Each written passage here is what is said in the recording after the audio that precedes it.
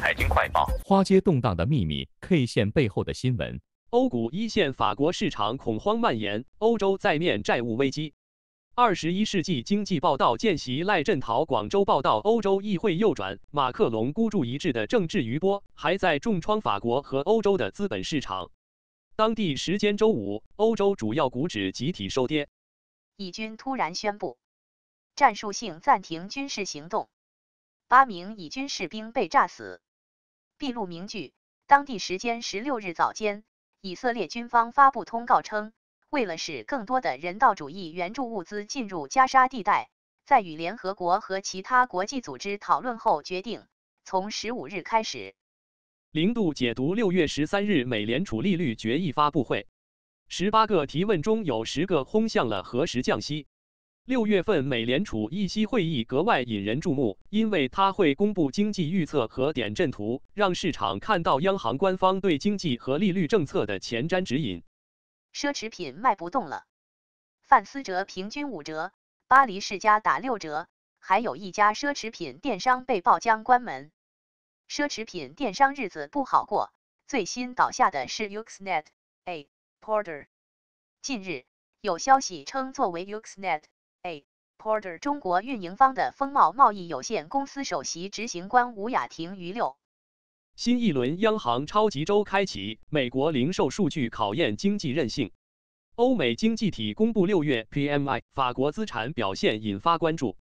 上周国际市场风云变幻，美联储暗示年内仅降息一次，日本央行将缩减购债规模。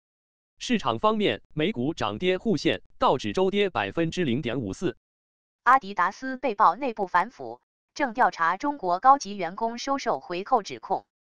据报道，阿迪达斯已就其中国员工涉嫌收受回扣的指控展开调查。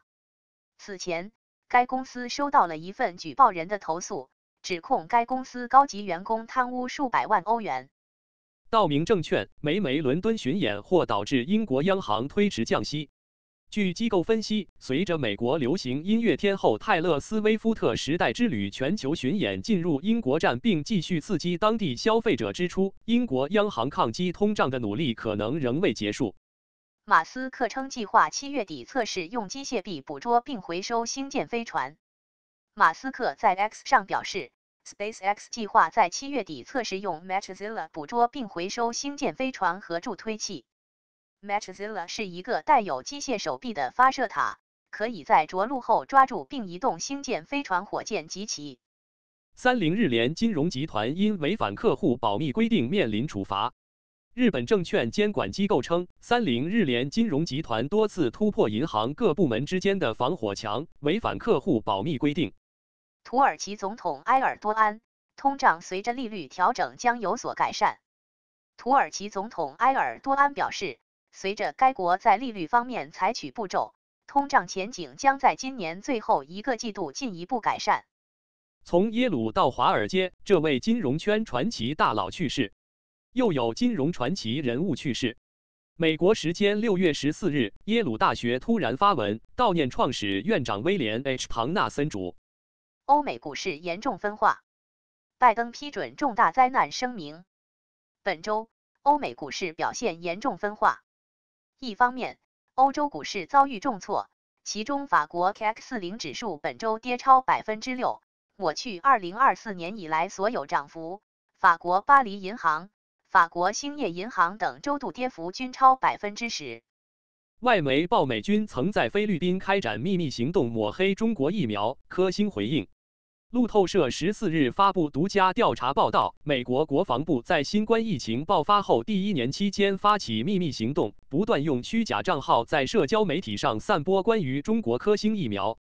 蔡崇信预言，微软与 OpenAI 未来极有可能会分道扬镳。张锦和实习宋新月近日，在美国投行摩根大通于上海举行的第二十届全球中国峰会上，阿里巴巴集团联合创始人。董事局主席蔡崇信与摩根大通北亚区董事长兼。本轮巴以冲突已致加沙地带三万七千二百九十六人死亡。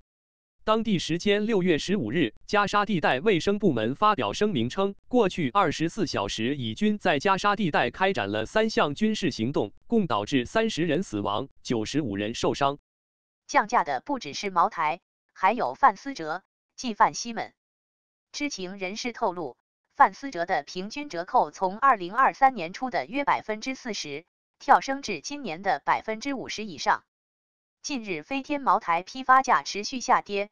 散瓶价格已逼近两千二百元。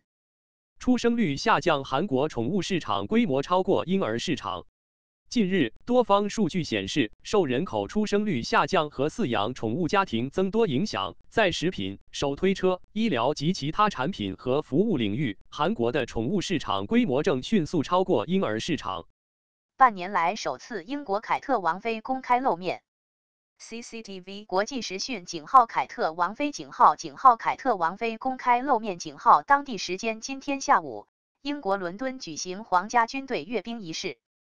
俄媒俄方代表称，俄对乌下一项提议将是一份乌方投降文件。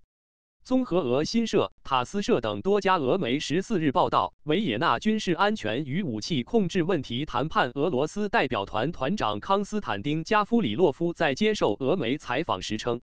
斯洛伐克当选总统彼得佩列格里尼宣誓就职。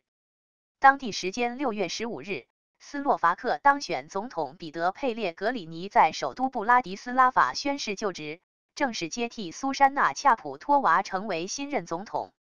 莫迪发帖晒在意大利与泽连斯基合影，和平可以通过对话和外交途径实现。综合今日俄罗斯峰会十三日至十五日在意大利南部召开，乌克兰总统泽连斯基与印度总理莫迪在峰会间隙举行。马来西亚总理，马来西亚加强对华关系是有道理的，因为中国愿意接纳和倾听。香港南华早报十五日刊出对马来西亚总理安瓦尔的独家采访称，后者在受访时明确表示，不会卷入中美地缘政治紧张局势。不会被迫选边站。关于二零二四欧洲杯，你需要知道的五个看点：蔡顶高寒四年一度的欧洲杯已于今日凌晨正式开幕。东道主德国队在慕尼黑安联球场举行的揭幕战中，以五比一力克苏格兰，取得开门红。微软、苹果、英伟达跻身三万亿美元市值俱乐部，谁才是美股一哥？当地时间六月十三日，苹果公司市值超越微软。重返全球市值之巅，这一成就得益于苹果在几天前的全球开发者大会领域的最新力作——苹果智能。美媒美西南航空一架波音737 MAX 八型客机在高空发生荷兰滚现象。综合美联社、美国哥伦比亚广播公司、纽约时报六月十五日报道，美国西南航空公司一架波音737 MAX。G7 发表联合公报，要求俄向乌赔偿超四千八百六十亿美元损失，俄方暂未回应。综合塔斯社，今日俄罗斯领导人十四日发表联合公报，内容涉及俄乌冲突。美联储突传重磅，美联储释放重磅信号。当地时间六月十四日，两位美联储官员克利夫兰联储主席梅斯特、芝加哥联储主席古尔斯比相继发表讲话，释放鹰派信号。美联储决策者还需要看到更多降温。美俄核潜艇同时现身古巴，加拿大巡逻舰也到了。古巴副外长，美国未受邀请。毕路明就在美军南方司令部十三日宣布，美国海军核动力快速攻击潜艇海伦娜号抵达古巴关塔那摩湾后不久，当地时间十四日清晨。AMD Lisa Su 专访谈与英伟达、Intel 竞争，直言 ARM 不是敌人。半导体行业观察在访谈中，他提到，请不要将 AMD 视为一家 X 八六公司，我们是一家计算公司，我们将针对正确的工作负载使用正确的计算引擎。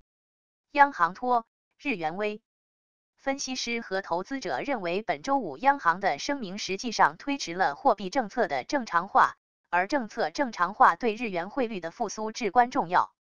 由于在本周五的利率决议会上，